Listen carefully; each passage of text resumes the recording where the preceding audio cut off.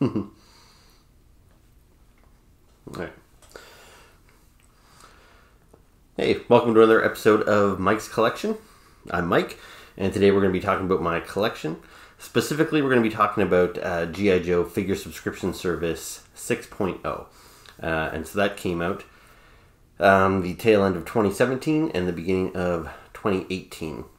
So there were eight figure subscription services from the G.I. Joe Collectors Club in total.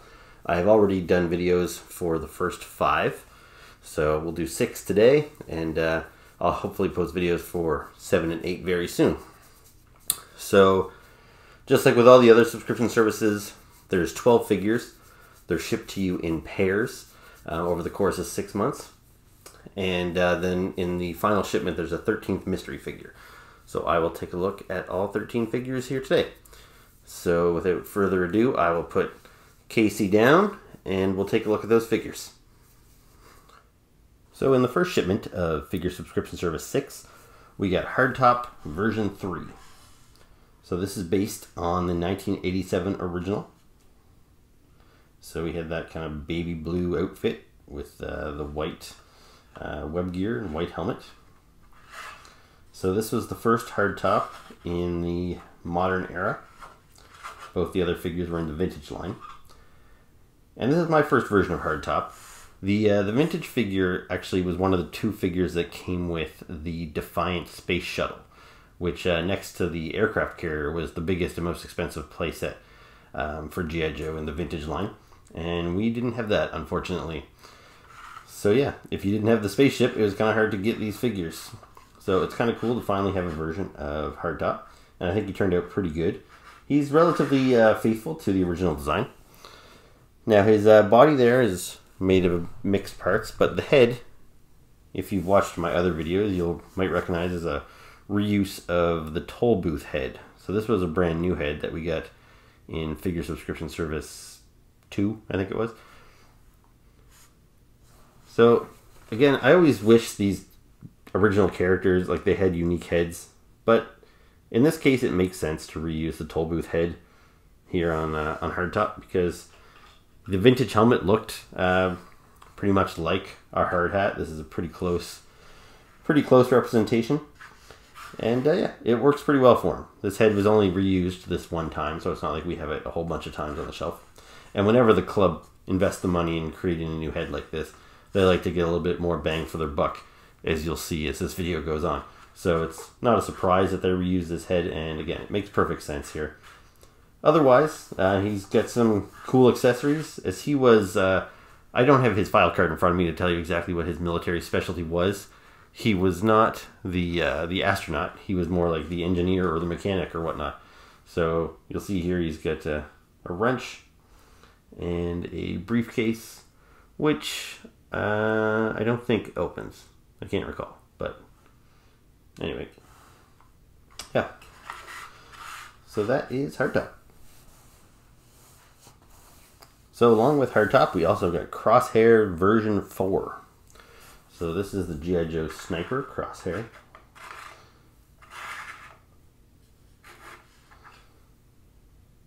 Lots of cool little accessories on there. The knife and the canteen and the pistol. Got a removable hat. And this accessory here is kind of neat his his case definitely does open up. And I'll try not to lose everything here.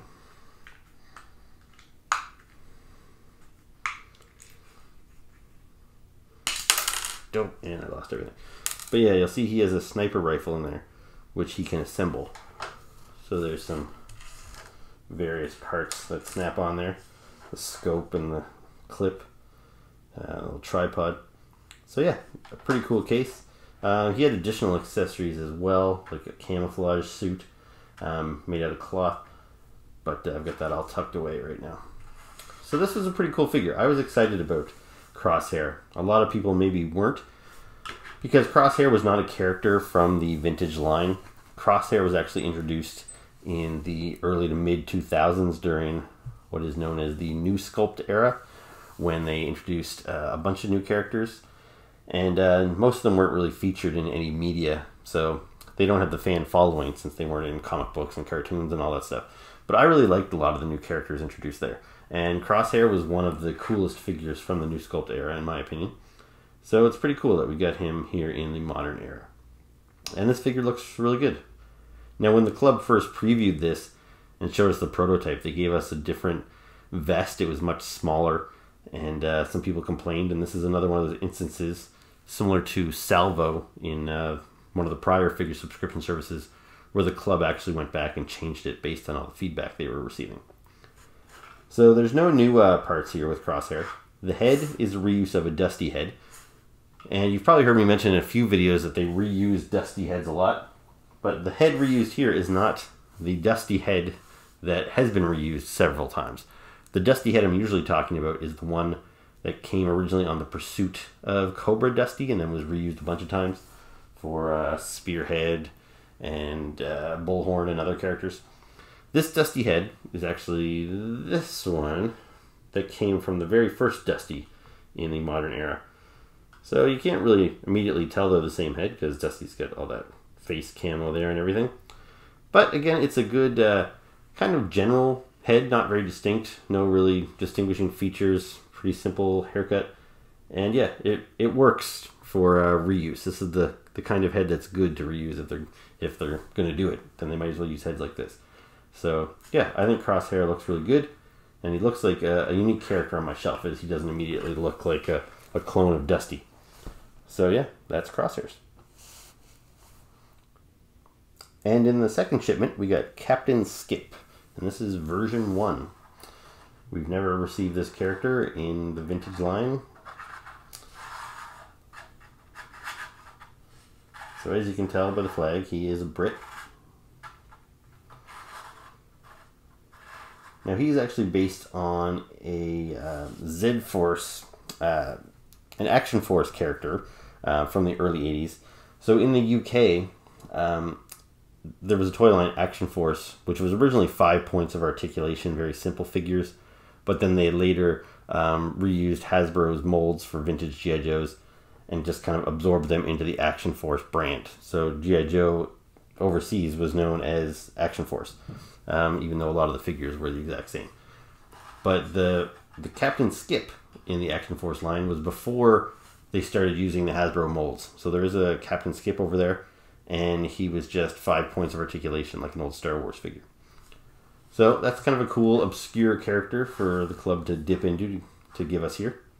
And uh, like all the Action Force figures they've given us, like uh, Quarrel and TNT from my past videos, he's got this silver base.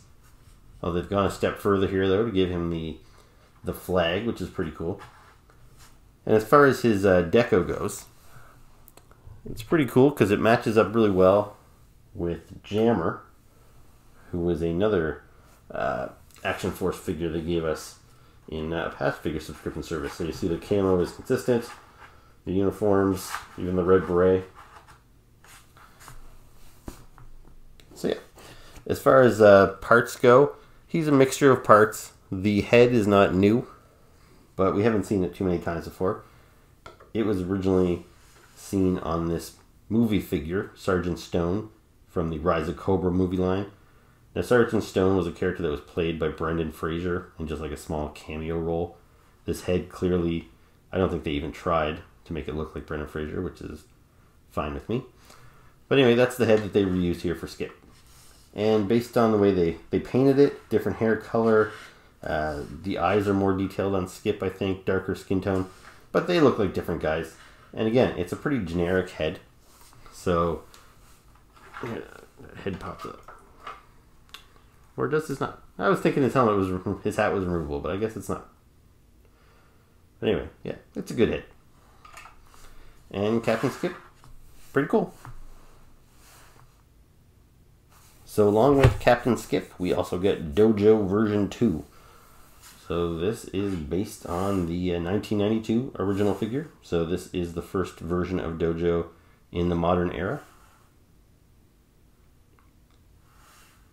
And so Dojo was a member of Ninja Force.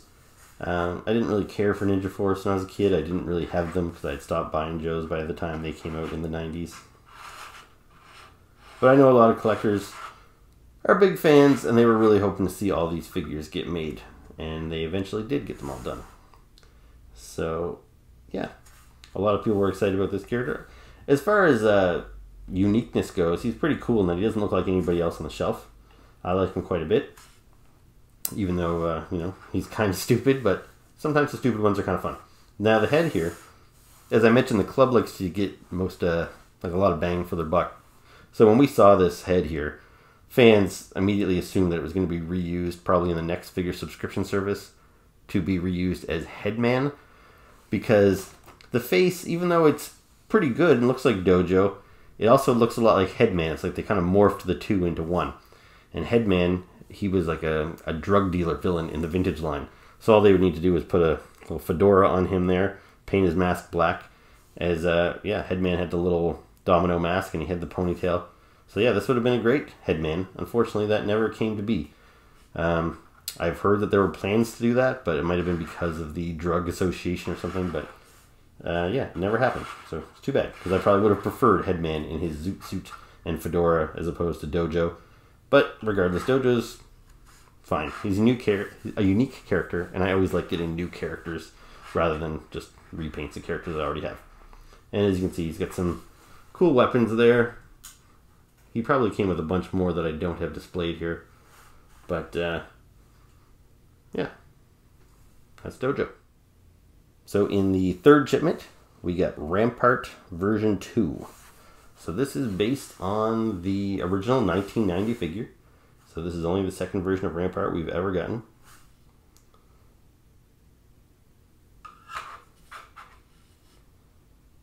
And I was really excited to get Rampart. He was very high on my want list. And uh, I know I've mentioned a few times, every time I review one of these G.I. Joes, it's based on a figure from 92, 93, 94, and there were a lot of them. Um, I just don't have the nostalgic ties to those characters because I'd stopped collecting G.I. Joes at that point in my youth. But Rampart, the original came out in 1990, and he holds the distinction of being the very last G.I. Joe I bought as a child, or received as a child, probably more real, realistically. And looking back on it, I don't know why he was the last one. Like, I know I was kind of grown out of it, and they were maybe already getting into, you know, a lot of repaints and ninjas and other things. But, uh, I really liked Rampart. He was a great looking figure. He was unique, but he was also military. He didn't look crazy colorful or anything. And uh, I remember playing with him a lot as a kid. So it's not like I got him and then I just didn't play with my toys anymore. So I really am kind of surprised that uh, he was the last G.I. Joe that I had. But he was, and I liked him a lot. So yeah, very happy to get a modern era version of him. Now, uh, the head is a reuse of Blocker. So Blocker is a member of Battle Force 2000, and uh, the club put out a box set of these guys uh, as part of their uh, convention set a couple years prior. And they made new heads for most members of Battle Force uh, 2000, and all of those new heads that they cast for that box set, they reused for this figure subscription service. So yeah, this is the first one you're going to see. So this is Blocker, and I really didn't like this head on Blocker, mostly because they forgot to give him eyebrows. And so he looks kind of weird and alien. But not only did they give Rampart eyebrows, but they gave him goggles. And uh, that really helps distinguish him from Blocker. And uh, yeah, I think it looks a lot better here.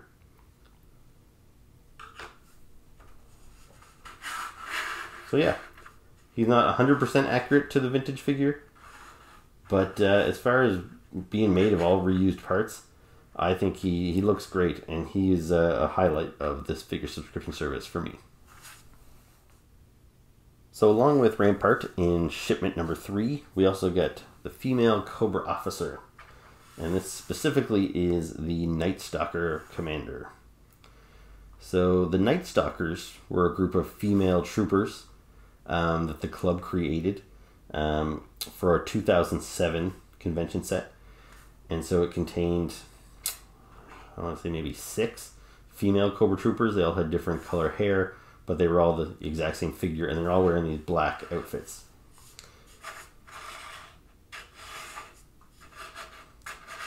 So yeah, She's pretty cool. Now her head, which um, helmet is removable.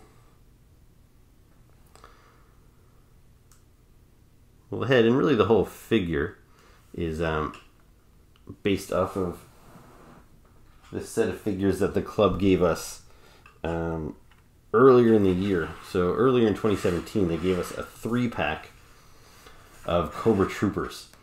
And so you'll see here the female Cobra Troopers. This is just one of them. But they were all the same other than the, uh, the hair color. So this is the one with black hair. And yeah, she came out really great. So it was really cool to add a whole squad of female troopers. And uh, Hasbro themselves actually gave us a officer for these blue female Cobra Troopers as part of their uh, 50th anniversary line. We got a female officer in blue with the silver Cobra emblem. So for this, they gave us another officer of the Night Stalkers, which makes sense because also uh, in 2018 they replicated this same three pack, except they gave us a three pack of Night Stalkers. So the same characters, except painted in black to match up with this character. So the three troopers all have the red Cobra emblem to designate them as troopers as opposed to officers. And again, they all just had different color hair. This one here had a different uh, skin tone. So yeah, we've got this officer here to lead our little squad of three Night Stalkers. And so yeah, it's a pretty cool nod to the 2007 set. So in the fourth shipment, we got Sub-Zero version 3. And this is based on the uh, 1990 original figure. And I'm having a really hard time getting him to stay on the stands because he has these snowshoes and the pegs on them aren't very deep. So yeah, he tends to topple over. Plus he's got this kind of heavy backpack on. So yeah, when I display him on my shelf, he's usually in the back of the shelf leaning up against the wall. So yeah, this is a pretty successful uh, Sub-Zero. Um, the original figure from uh, 1990 I always thought was kind of silly looking. He had this big puffy hood on with just his little face poking through. And this guy similarly looks a little overly bundled up, but I think it's you know it's accurate to the vintage figure. And the uh, the paint scheme again, I don't know, it's something about it looks kind of cute, I guess, with just the baby blue and the white. Not necessarily very military, but again, it's accurate. So for any of those like major Sub-Zero fans, this was probably a pretty uh, satisfying toy to get. This is the first time we're getting this character in the modern era, so again, I'm happy about that. Now, uh, as far as the head sculpt in there, it's not my favorite choice, but considering what uh, their other options might have been, uh, I don't know. It's it's fine, especially because Sub Zero is not one of my favorite characters. But um, let me see, where's my comparison guy here? Yeah, so here we go. So you'll see the uh, Sub Zero head is a reuse of Lowlight's head because he's got that little knit cap, which works well as a little toque for Sub Zero to wear. I just took off the uh, the goggles here. So Sub Zero, if uh, memory serves, he was uh, he was either Asian or he was an Eskimo, um, I believe. I haven't seen much of. Uh, he was featured in the cartoons put out by DiC, um, which again was kind of after my time. I don't even know if that aired up here in Canada. I didn't watch those those shows until years later. But uh, yeah, I think what from what I can recall from those episodes, I think he might have been Asian or something. So in that regard, this might not be the best head choice. And if he was an Eskimo, they might have wanted to reuse Quinn, the Eskimo's face. Um, but I might be totally wrong about that. Either way, it's not a bad figure. He's got some cool accessories. I wish he stood up a little bit better. But uh, yeah, that's Sub Zero. And along with Sub Zero, we got Guillotine version 2. So this is based on the 2006 Guillotine figure. So he was introduced in the new sculpt era of the uh, mid 2000s. Guillotine is a member of the Plague. So you may have heard me mention that on here before. Kind of a cool sword with a skull on. So the Plague in the comic book by Devil's Due was a group of 13 elite Cobra characters taken from all the different ranks. Guillotine, I believe, was a former eel. um, and they were kind of assembled to act as a counter team to the original 13 Joes. So they were supposed to be kind of the best of the best. And they all wore black outfits. And uh, yeah, it was a cool idea in the comic books. And I really wanted to get figures of those characters, but it never really panned out. But we've we've got a few of them over the years. So Blackout, for example, who was in the first figure subscription service, was a member. Uh, we got Munitia in a later wave, which I'll show you in uh, figure subscription service eight and uh, yeah, a couple other characters sprinkled through too. But Guillotine, he was the leader of the plague, so he's a really cool character to get. So, and his mask is removable, and he actually had a brand new head sculpt, which I thought was kind of a weird choice because his head is similar enough to Gung Ho or Recondo or Roadblock. They could use a lot of those heads, um, especially since he wears a mask, and a lot of people will probably display him like I do with the mask on they probably could have spent their money giving a new head to somebody like Hardtop or Sub Zero instead of this guy. But no matter. I'm always happy to get a new head sculpt. And yeah, this is a good one. Now, uh, as far as his gear goes, because he is a former Cobra Eel, he's got this kind of scary looking scuba mask. Now, I don't know how practical it is for him to be going swimming in this knit turtleneck sleeveless sweater and his jeans and combat boots and whatnot. But uh, still, it's a pretty cool look and cool accessories. And overall, yeah, I'm pretty happy with Guillotine. So in the fifth shipment, we got Worms version 2. So this is based on the 1988 original Worms.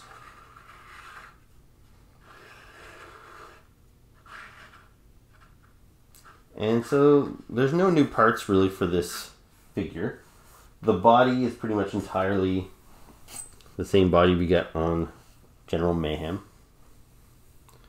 So the kind of pantaloons and the boots and the long gloves and of course the the jacket adorned with medals. But uh, yeah, it's a good body to use for worms because uh, the 88 worms, or sorry, 87 worms was a an interesting choice in that he was just supposed to be uh, kind of a generic vehicle driver. He drove the Cobra Maggot. But uh, yeah, the original toy did have all these uh, medals and stuff on his jacket, which kind of made it seem like maybe he was a higher ranking officer. And so yeah, they've replicated that pretty good by using the General Mayhem jacket there. And the original one did have a removable helmet. Now this helmet, we've never seen this in the modern line, but it looks to be just uh, maybe a bit of a reworking of the vintage helmet. And then he's just got the kind of standard ski mask on underneath, which is accurate to the vintage figure as well. Now one thing they've done here, which is kind of hard to tell, but I guess to uh, hide the fact that this sculpted jacket would have a, a necktie sculpted in there, as General Mayhem has, they actually put a cloth uh, ascot on him there to match the uh, vintage figure, which had a sculpted uh, plastic ascot as part of the mold. So yeah, it's a neat little addition. And I love this figure. The one flaw I have with it is with any figure that wears a jacket in the modern line. It's pretty obvious that these sleeves of the jacket are not connected, so it looks like he's wearing a weird vest with another jacket underneath. And that really shouldn't be the case, but that's just the way these modern figures are designed. But uh, Worms is a character I really liked. Um, when we were kids, my brother Doug actually had this figure. I didn't. This is the first Worms figure I've ever owned. But we didn't treat these guys as troopers. Um, he was a unique character, and for me, uh, the original Ice Viper, this is the modern version Ice Viper, but the vintage Ice Viper that came out around the same time as the vintage Worms, I think we must have gotten them at the same time, maybe the same Christmas. But we treated them both as unique characters. And these guys were the biggest, baddest guys on our Cobra teams. These guys could take out half the Joe team on their own. And uh, yeah, we just really liked these guys. And they uh, became really important part of playtime. And for a long time in the modern era here, it didn't seem like we were going to get either of these figures. They gave us kind of a weird version of the Ice Viper as part of the Rise of Cobra line, but it didn't look anything like this. And Worms here, we got him obviously pretty late in the game as the Joe line essentially ended in 2018. So yeah, we just got him under the wire. And I'm happy we did, so I can finally display modern versions of these two favorites of ours on my shelf together. Now, along with Worms, we got Vorona version 1, or you could call her Dana version 4, because uh, this, uh, even though they call her Vorona here, this is a character that was already established whose name is Dana. And we did get a version of her earlier in the Modern Era line as part of the October Guard box set. And so they actually do have the same head sculpt, um, but she's got uh, just a different body. Because in the comic books, again, published by Devil's Due, Dana, who was a longtime member of the October Guard, which is the Russian equivalent of the G.I. Joe team, actually joined G.I. Joe and took on the codename Vorona, and this was the outfit she wore in the comics by Devil's Due. So, yeah, I was uh, pretty happy with this figure. I think it's very nice head sculpt, and I think this uh, body they put together works really well. It's It looks pretty accurate to the, the comic book. Um, I won't go into too much depth with her because I actually did a solo review of this one figure in another video just when I was kind of practicing uh, my figure reviews, and I just kind of grabbed her at random, not realizing I would do a figure subscription service review just a couple of weeks later.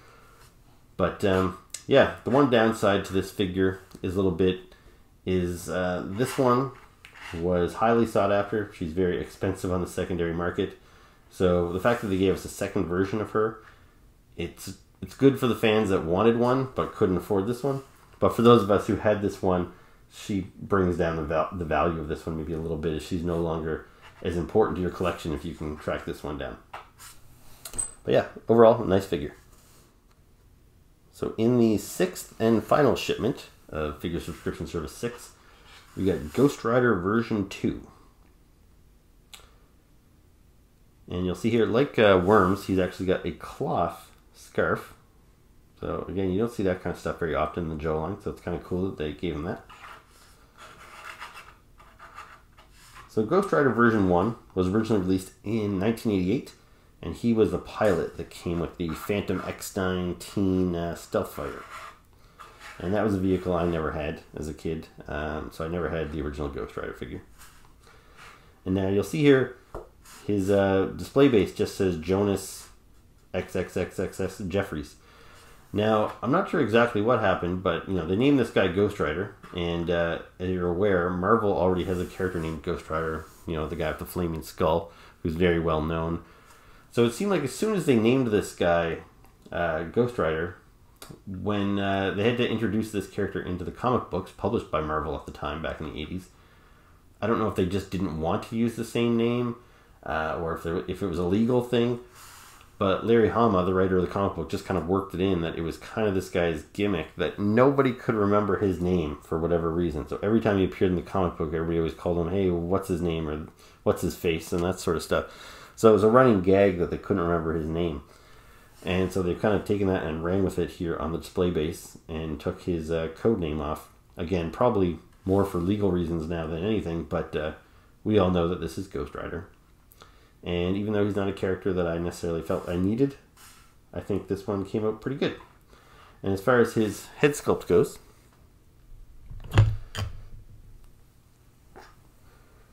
so it is a reuse of the uh, blaster head from the same Battle Force 2000 box set that uh, Blocker had.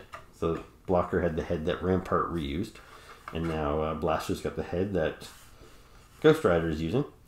And similar to uh, Rampart and uh, and Blocker, they added a set of goggles to the helmet, which uh, I think helps a lot, so they don't look necessarily identical.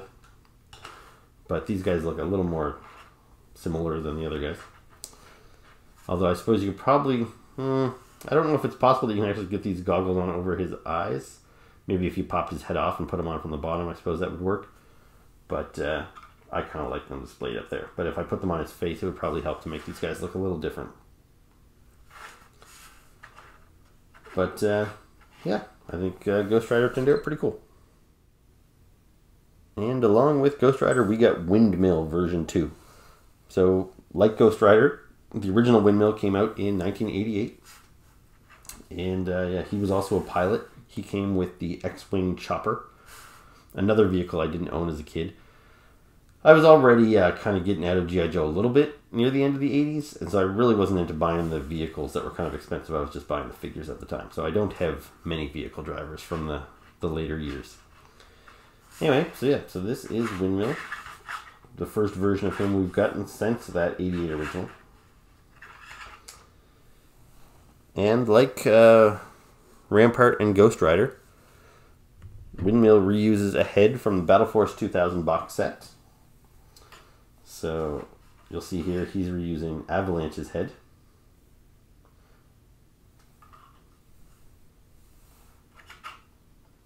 Now, Avalanche was a toy I really liked as a kid, and so I was pretty happy with uh, with this figure when we got him a couple years earlier.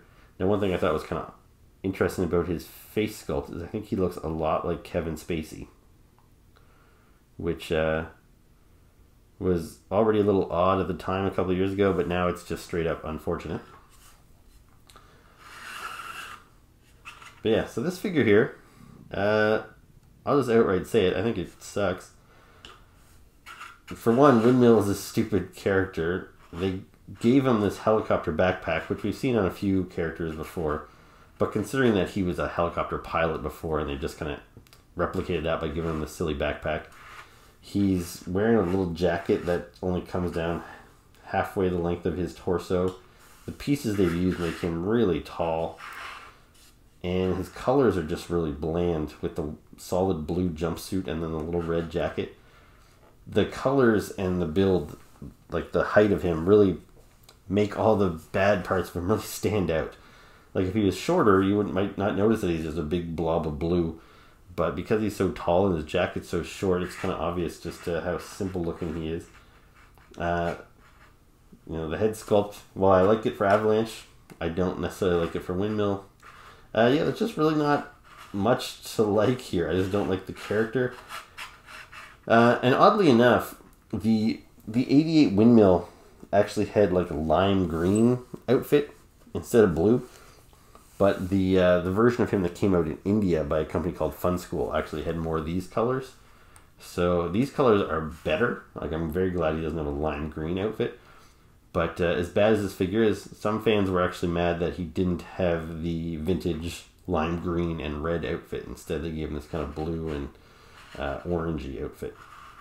So I don't really care. Um, I I prefer this this deco on him, but uh, yeah, if you were a hardcore windmill fan, it's unfortunate that you didn't get the version one colors that you were hoping for.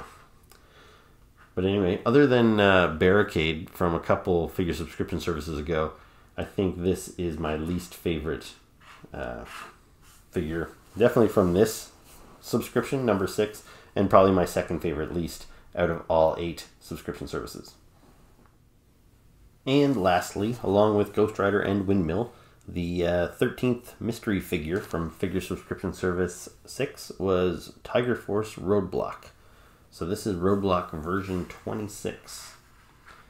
And it is based on the original Tiger Force Roadblock, which was version 3, and that came out in 1988.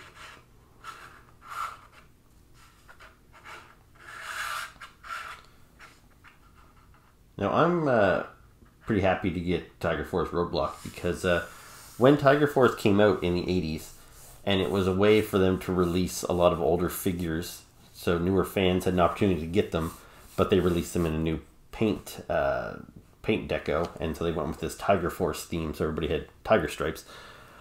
Uh, my brother Doug had more of them. Um, the only two that I had were Tripwire and Roadblock. And in this modern era, they've kind of expanded the Tiger Force line quite a bit, and I've I've got pretty much all of them, and I really have come to like the Tiger Force subset. But I have a special place in my heart for Roadblock and Tripwire. So those are the two I probably most wanted, and those seem to be the two that we weren't going to get. And now that the Joe line is over, we never did get a Tiger Force Tripwire, and yeah, we just barely uh, got a Tiger Force Roadblock. So yeah, I'm very glad that they selected him as the uh, 13th mystery figure. So, uh, aside from the fact that he's Tiger Force, I just think this is a great Roadblock figure. Because uh, Roadblock is kind of one of the main G.I. Joe characters. So much so that when the Modern Era launched in 2007 as part of G.I. Joe's 25th anniversary. Uh, it was originally announced that they were just going to do 25 figures as part of the anniversary and stop after that. It just happened to be successful and they kept going. But the uh, the 25th anniversary line was launched with two five packs a five pack of Joes and a five pack of Cobras. And Roadblock was selected as one of the five Joes. So obviously, Hasbro seems to think he's important to the brand. And this is that Roadblock that came out. And while it's not horrible, uh, I always just it seemed too small. Roadblock is supposed to be a bigger guy, and one of the great things about this modern this modern style of figure is that you um, not all the figures are the same size, so it gave you an opportunity to make him a little bit bigger. But uh, yeah, this one just never really did it for me, and his head I always found was kind of kind of small, and uh, yeah. So this roadblock was kind of my default roadblock on my shelf for a long time.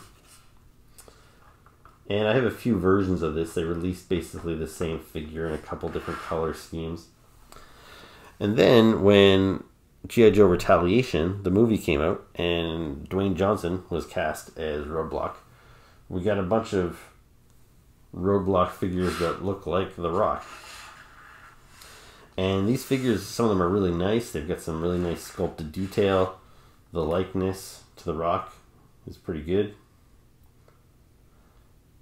Um, this is just it's just not my roadblock.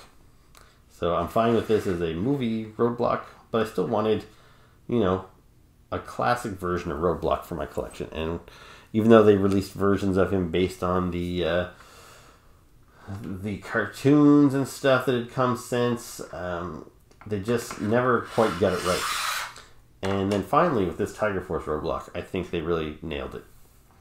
So again, I was kind of surprised they gave us a new head. I kind of thought maybe we would just get this figure repainted in tiger colors, but they gave us a brand new head sculpt here.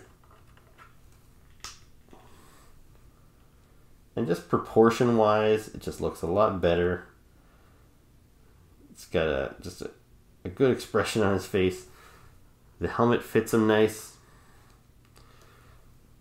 I just like everything about it.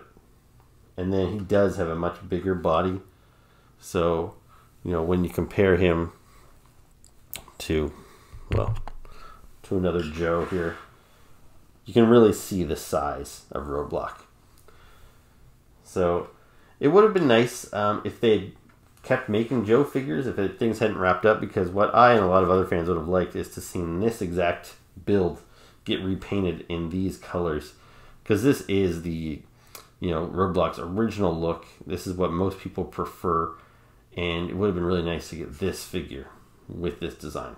But either way, I do have roadblock with this with this deco right here, and I do have all those other versions that look like the Rock. Um, so it's not uh, not something I necessarily needed. It just would have been nice to have. But yeah, as far as mystery figures go, I thought this one turned out really well. He's got some nice accessories, and the build was just really successful.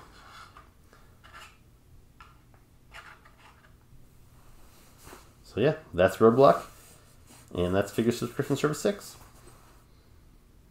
Alright, so that's mine and Casey's review of Figure Subscription Service 6.0 from the G.I. Joe Collectors Club. So uh, if you liked the video, please uh, like and subscribe. If you have any questions or comments, please uh, leave those below. And uh, yeah, thanks a lot for watching, and I'll see you on the next episode.